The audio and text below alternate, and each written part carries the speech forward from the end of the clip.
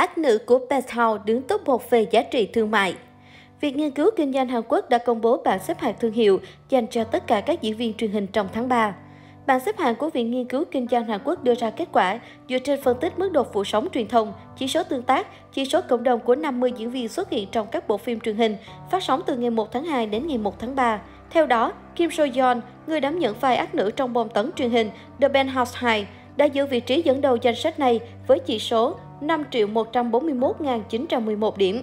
Những từ khóa về nữ diễn viên được tìm kiếm nhiều nhất là Penthouse 2, quyền lực, cứng rắn. Ở vị trí thứ hai trên bảng xếp hạng là Song Joong Ki, nam diễn viên cũng có màn trở lại ấn tượng với siêu phẩm Vincenzo. Vai diễn này đã đem lại cho anh chỉ số danh tiếng thương hiệu là 5 triệu 123.964 điểm. Nữ minh tinh Lee Da-hee nhẹ nhàng đáp ở vị trí thứ ba với 4 triệu 487.022 điểm, chỉ số danh tiếng thương hiệu. Vị trí thứ tư gọi tên Ogene, cô cũng đang gây sốt với siêu phẩm Penthouse 2. Ngoài ra, bảng xếp hạng còn có sự góp mặt của các gương mặt quen thuộc của điện ảnh Hàn Quốc như Kim So Hyun, Kim Jae Won. Kim So Yeon là một trong các nữ chính của phim Penthouse, ăn khách của truyền hình Hàn Quốc. Cô vào vai Jeon Seojin, một nghệ sĩ opera, giảng viên thanh nhạc và cũng là chủ tịch một tập đoàn lớn. Đảm nhận tuyến vai phản diện chính của phim, Kim So Yeon lột tả hoàn hảo vẻ đẹp quyền lực, tính cách tham vọng, độc đoán và tàn ác trên màn ảnh khiến người xem ghét cay ghét đắng bởi các thủ đoạn và hả hê ở những cảnh bị trả thù, Kim So Yeon trở thành một trong các ác nữ thành công nhất màn ảnh Hàn Quốc.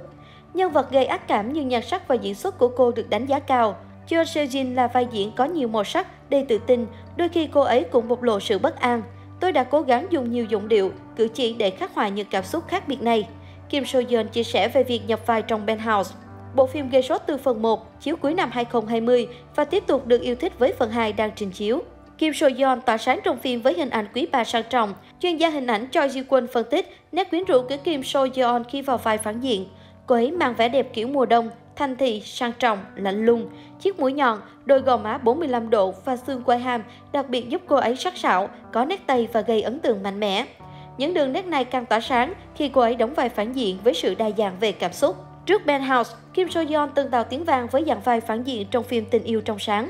Bộ phim từng trở thành hiện tượng của màn ảnh xứ Hàn với rating 45 điểm khi phát sóng năm 2000. Mang tính cột mốc đầu tiên trong sự nghiệp của Kim So Yeon, vai phản diện trong tình yêu trong sáng cũng gây ra nhiều rắc rối cho cô. Mang gương mặt sắc sảo và già dặn, cô bị ngành công nghiệp phim ảnh đóng khung trong dạng vai lạnh lùng, tăm tối dù ở mới độ tuổi đôi mươi. Kim So Yeon có lần tâm sự, tôi nhận rất nhiều đánh giá tiêu cực sau tình yêu trong sáng. Nhiều người nói tôi giả tạo. Một thời gian dài, tôi cảm thấy tổn thương và không dám nhận phỏng vấn video. Sau tình yêu trong sáng, Kim So Yeon đóng một số vai hiền lành nhưng không tạo được thành công. Kim So Yeon tiếp tục gây chú ý với hình ảnh điệp viên Triều Tiên gai góc, tâm lý phức tạp, nhiều thù hận trong phim hành động hình sự Iris. Sự thay đổi lớn đến với cô vào năm 2010 với vai diễn cô nàng quá khổ Ma Hyerin trong phim tình cảm hài Prosecutor Princess. Kim So Yeon biết ơn nhân vật này bởi nhờ nó, cô biết mình có thể bắt đầu chương mới của sự nghiệp với một dạng vai hoàn toàn khác.